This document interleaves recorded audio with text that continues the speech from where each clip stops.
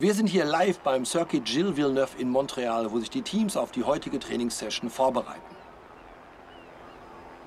Ich bin wieder mit Stefan Römer vor Ort. Schön, dich zu sehen und ich möchte dich auch gleich fragen, wie diese Fahrer die Autos während des Trainings verbessern. Wie viel denkst du, kennt man bereits durch Simulationen und wie viel Arbeit muss man schließlich noch mit den echten Wagen auf der echten Strecke reinstecken? Eine sehr gute Frage und ich glaube, es lässt sich leicht damit beantworten, dass man nie genug Informationen haben kann. Die größeren Teams haben sehr komplexe Simulationen und kluge Leute, die sozusagen im Hauptquartier mit den Zahlen spielen. Sie können dir allerdings nicht sagen, wie die Streckenbedingungen sein werden. Wie hoch wird die Temperatur sein und wie wird sich das alles auf die Reifen auswirken. Es gibt Millionen an Variablen, die für das Rennen an sich wichtig sind, doch der Computer kann das Auto den Bedürfnissen des Fahrers nie ganz anpassen. Irgendwann muss mal ein Mensch mit dem Ding fahren und alles so richtig spüren, weshalb die Fahrer unterschiedliche Einstellungen haben. Nichts ist besser als das Testfahren auf der Strecke.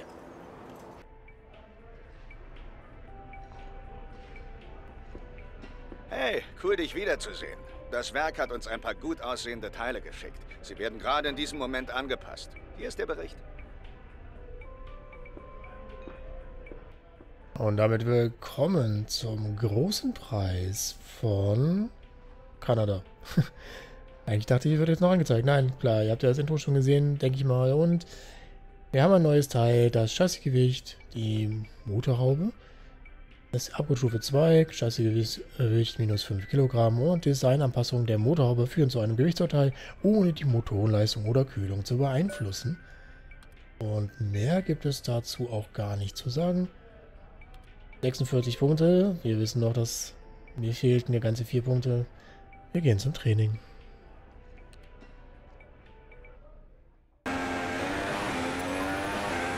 Die Akklimatisierung steht natürlich wieder an und schauen wir doch mal. Kanada ist auf jeden Fall... Oh nein, jetzt bin ich schnell reingefahren. Ist auf jeden Fall eine der Strecken, die mir normalerweise sehr viel Spaß machen. Nach den letzten beiden, Monaco und Spanien, wird es auf jeden Fall jetzt wieder besser. Auch wenn ich jetzt bei der Akklimatisierung muss erstmal ein bisschen gucken muss.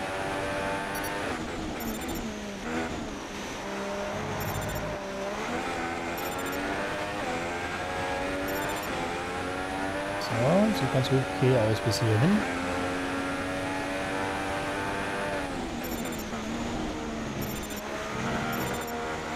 Hier lasse ich normalerweise immer sehr viel Zeit liegen. Oh, schade.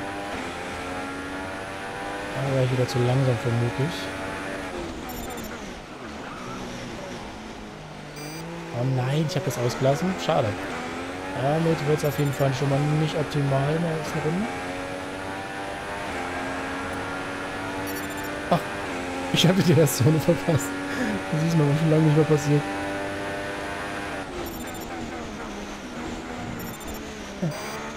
Ja. Wenn man den Abweiser mitnimmt, dann passiert das.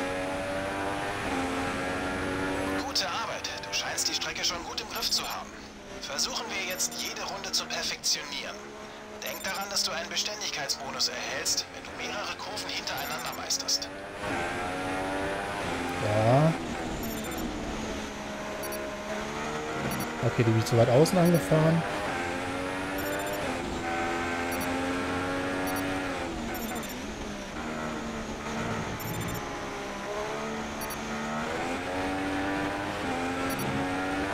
Ah, das war glaube ich wieder zu langsam. Na gut, ich muss mir noch ein bisschen rantasten mit den Toren hier. In etwa 10 Minuten wird es leicht zu regnen anfangen. Ach, jetzt auch schon? Ah, ich hatte gesehen, dass es auf jeden Fall im späteren Training nochmal regnen wird. Bei dem war ich mir jetzt gar nicht so sicher.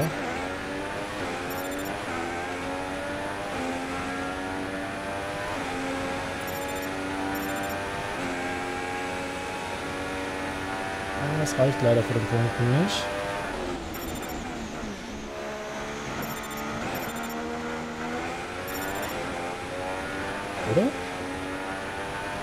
gar nicht genau. Das ist großartig. Du scheinst ein gutes Verständnis für diese Strecke zu haben. Ah, ich habe mir gedacht, das würde gerade nicht reichen. Weil ich ja doch ein paar grüne hatte.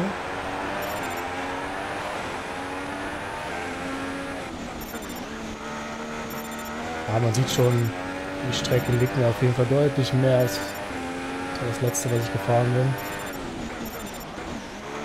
Macht mir auch deutlich mehr Spaß.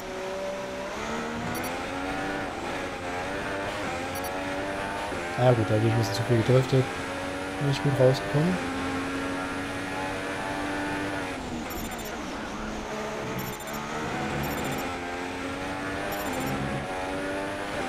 Oh, das sieht ja schon deutlich besser aus als die Runde davor. Ach nein, jetzt habe ich das Tor nicht. Doch. Okay, ich dachte, das Tor zählt nicht. Weil meines Erachtens habe ich es nicht berührt.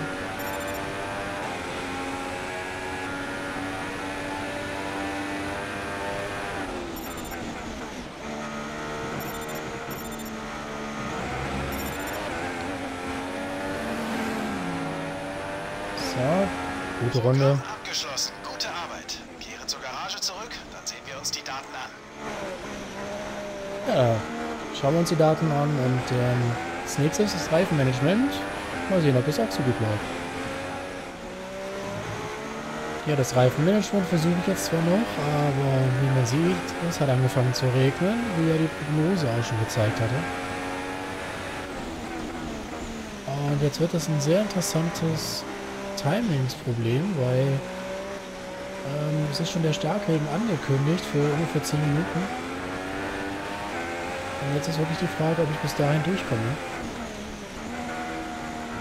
Vom Schaffen wollen wir jetzt noch gar nicht mehr reden. Oh.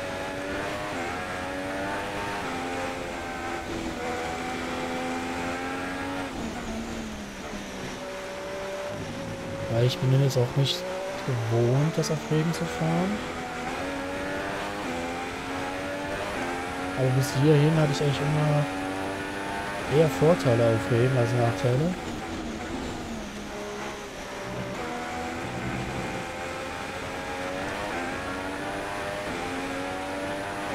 Danach sieht es auch jetzt wieder aus.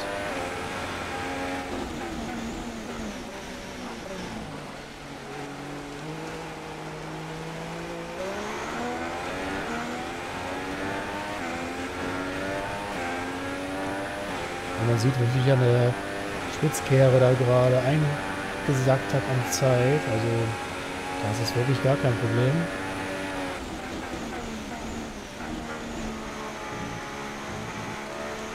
Ganz langsam durch die Schikane tuckern. Und dann sieht das richtig gut aus. Okay, mit dem Tempo sind wir zufrieden. Und den Reifen ist es in dieser Runde auch sehr gut ergangen.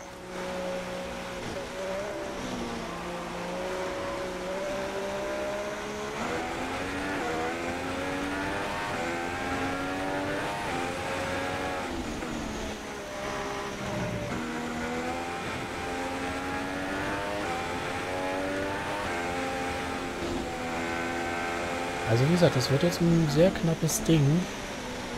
Ich muss da also im Prinzip jede Runde jetzt schaffen.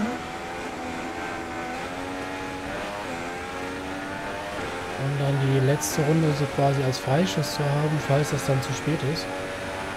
Und wir werden sehen, ob das hinhaut.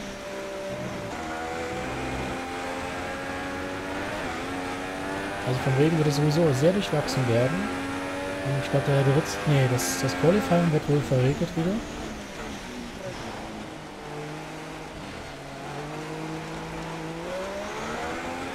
Das Rennen sah aber trocken aus. Lass mal uns mal überraschen, wie das dann tatsächlich aussieht, aber das ist auf jeden Fall eine Herausforderung, dann habe ich bis dahin wieder gar keine Übung beim Trocknen. Wobei das ja ganz gut aussah.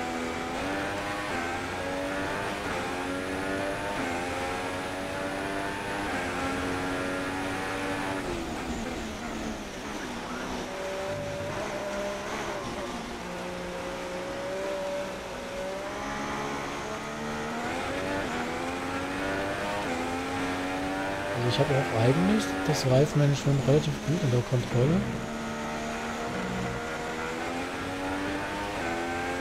Zeit ist kein Problem gerade. Wäre jetzt interessant gewesen, ob es im Trocknen auch so gelaufen wäre, das weiß ich nicht.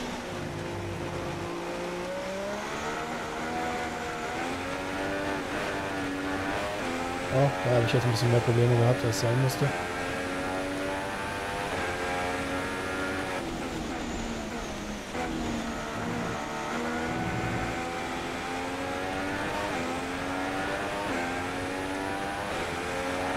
Das sieht aber trotzdem ziemlich gut aus.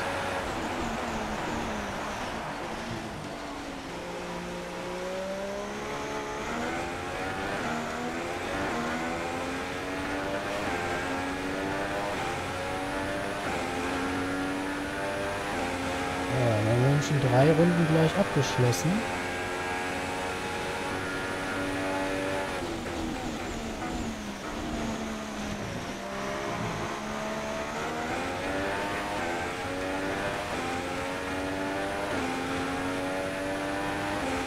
Okay, das Tempo haben wir schon gut im Griff. Und in der letzten Runde haben die Reifen weniger abgekriegt, als wir erwarteten. So soll ja auch sein. Ja, wenn wir die Runde jetzt schaffen, haben wir immerhin schon mal das auf normal abgeschlossen.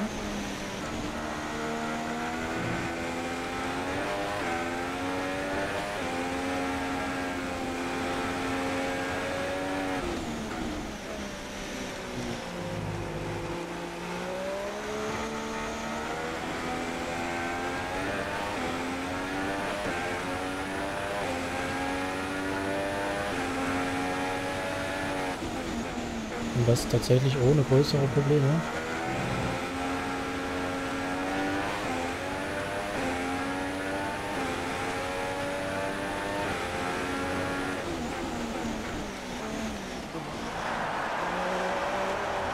Ah, okay, hier habe ich vielleicht ein bisschen früh gebremst. Das habe ich die Runden vorher ein bisschen besser gemacht.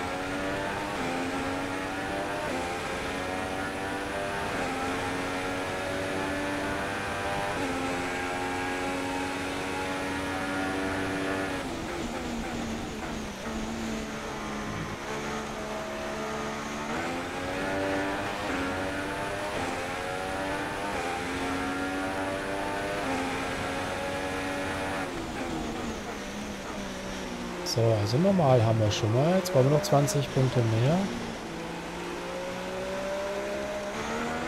In den nächsten paar Minuten wird es einen kräftigen Regenguss geben. Ja, da war schon die Ankündigung. Also nur mal schauen, dass wir das trotzdem rechtzeitig gut hinkriegen. Also die Runde nach Möglichkeit noch optimal. Danach reichen noch 5 Punkte. Weil ich zu sehr rutschen sollte.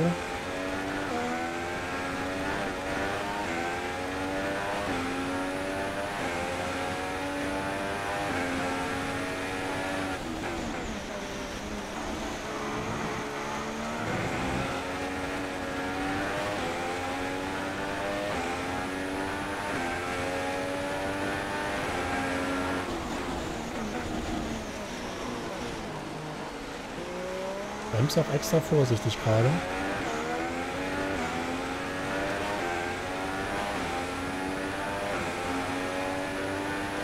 Ich das Gefühl auch in Monaco gehabt hätte, wäre es nicht so das Problem gewesen, aber kein Gefühl, weil kein Gefühl für die Strecke an sich.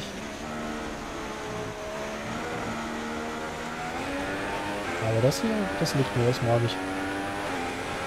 Kanada fahre ich ziemlich gerne eigentlich.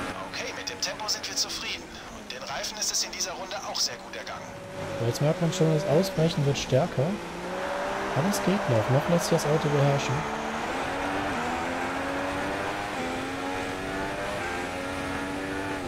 Bin tatsächlich jetzt eine erste, gute erste Kombination gefahren. Ähm, So schnell war ich, glaube ich, bis hierhin noch nicht, ja.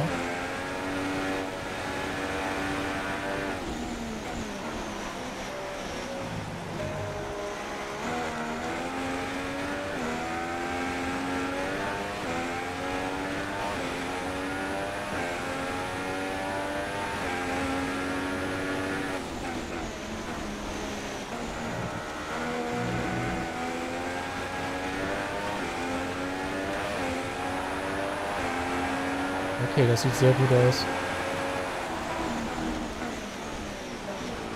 Die Zeit sollte ich nicht mehr verlieren. Im Gegenteil, ich gewinne sogar noch deutlich.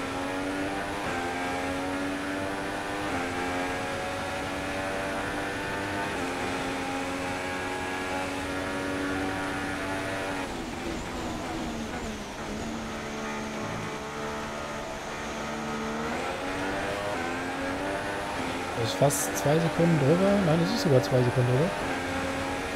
Nur das, was ich brauchte. So. Die letzte Runde ist eingeläutet.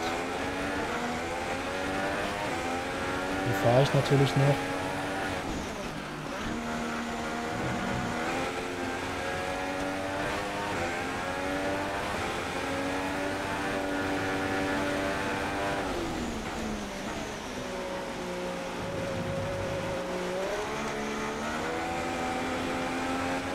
Ein bisschen zu viel Gas.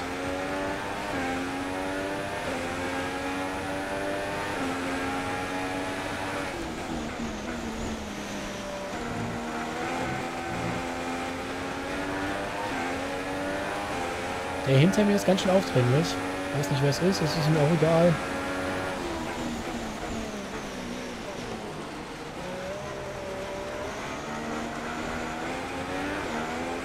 Aber ich bin auf einer sehr guten Runde unterwegs. So viel zum Thema Startbringen. Wir haben noch Benzin für etwa vier Runden. Gar kein Problem gewesen.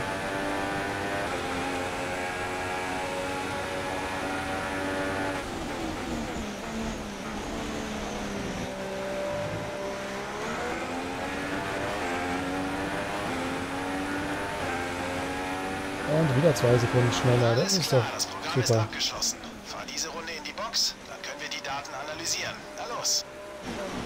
Ja, haben wir schon zwei Programmpunkte abgearbeitet und das am ersten Tag. Trotz Regen. Mal sehen, was das am Wochenende noch so bringt. Und dann gönnen wir uns wieder den Blick auf die Ressourcenpunkte und ja, es hat sich diesmal wirklich gelohnt. Akklimatisierung und Reifenmanagement, beides perfekt abgeschlossen. Mehr Punkte konnte ich im Prinzip nicht mitnehmen. Und ähm, kleiner Funfact am Rande, ich habe am Ende mal geguckt, die schnellste Zeit wurde von Männer Racing gefahren mit Harianto. Ja, dass sie das stärkste Auto haben, habe ich ja schon mal erzählt. Dann gehen wir jetzt zum Tra Training 2. Ja, wir können uns wieder die Punkte, ähm, Quatsch, den Blick auf die Punkte natürlich. Und ähm, ja, ich habe es diesmal nicht geschafft. Ich hatte einen relativ großen Abstand beim Qualifying-Tempo. Ich habe es versucht. Und ähm, da war definitiv mehr drin. Mal sehen, ob ich es im dritten Training dann schaffe. Ja, ich versuche mal wieder das Qualifying-Tempo. Und man sieht schon, es regnet schon wieder im dritten Training. Ich habe äh, im zweiten Training es ja nicht geschafft, im Trockenen. Da hatte ich einen ganz schönen Abstand noch. Und jetzt im dritten Training habe ich so ein paar Sachen ausprobiert, so mit den Einstellungen. Habe dann gesehen, dass es noch regnen wird. Und dann habe ich mir gedacht, naja gut, dann spare ich mir das. Das Qualifying-Tempo noch zu machen. Während ähm, es trocken ist. Oh, verdammt. Und mache das dann halt jetzt im Regen. Denn eigentlich ist es ja im Regen ganz gut gelaufen äh, beim Reifenmanagement. Also warum nicht auch beim Qualifying Tempo? Vor allem bei dem Vorsprung, den ich nachher hatte. Will ich allerdings ein bisschen sauberer fahren, nicht so viele Fehler machen.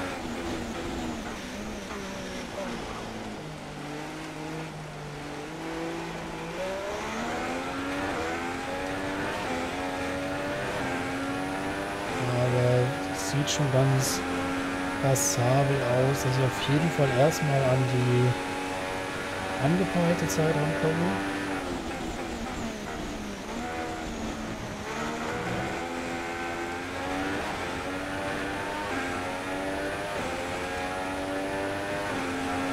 Gute Runde. Wir haben unsere primäre Zielzeit erreicht. Das ist erfreulich.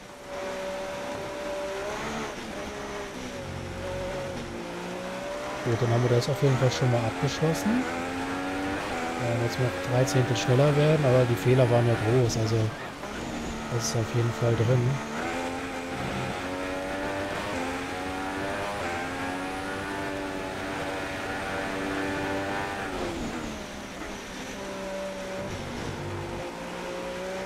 Aber ich habe irgendwie das Gefühl, das Auto reagiert nicht ganz so gut wie im Training gerade. Oder ich mache irgendwie wirklich einen Fehler mir gerade nicht so ganz einleuchtet.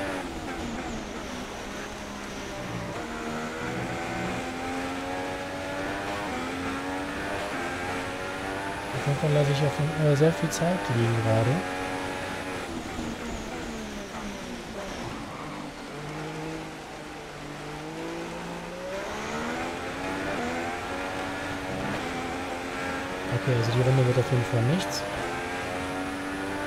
Insgesamt einfach zu schlecht.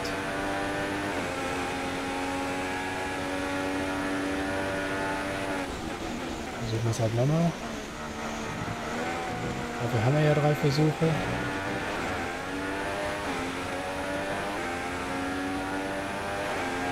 Gut gemacht. Diese Runde unterbietet unsere primäre Zielzeit. Ja, aber die wollten wir ja gar nicht. Also klar, die wollten wir auch unterbieten, aber... natürlich jetzt um die neu angepeilte.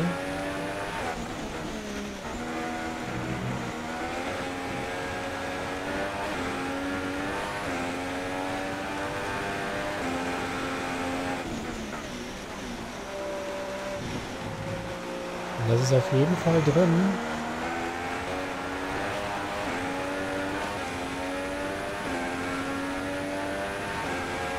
Wenn ich den jetzt noch zu, sauber zu Ende fahre.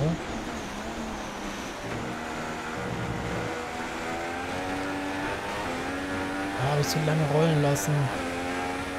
Das kostet sehr viel Zeit. Aber mit der Schikane habe ich ja eh so meine Probleme noch, äh, die sauber zu fahren, schnell zu fahren vor allem.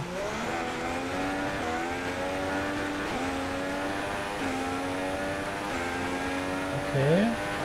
Ich bin im Positiven, also habe ich noch geschafft.